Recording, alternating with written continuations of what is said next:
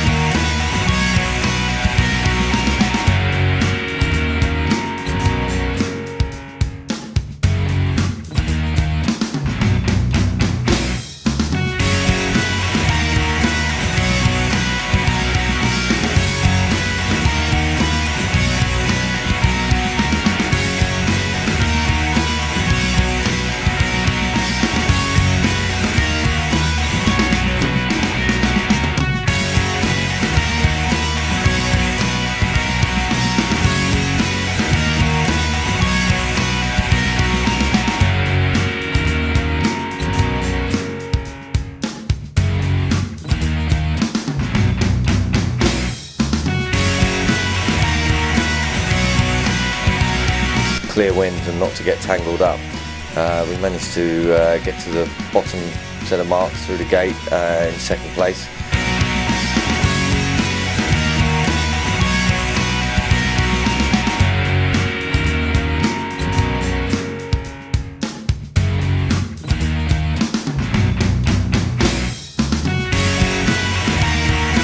Uh, leaving the other few boats uh, behind, but John Winning was uh, too far in front ever to, to catch. We never really seemed to uh, to catch John.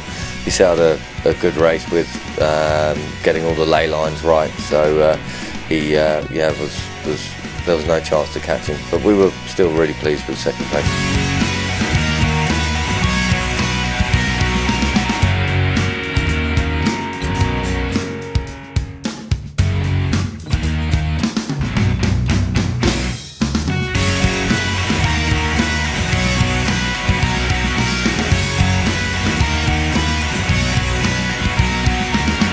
So it seems you you had a good start for this Mark Foy's Trophy, uh, winning the second race. Can you tell us a little bit about this uh, first day of regatta?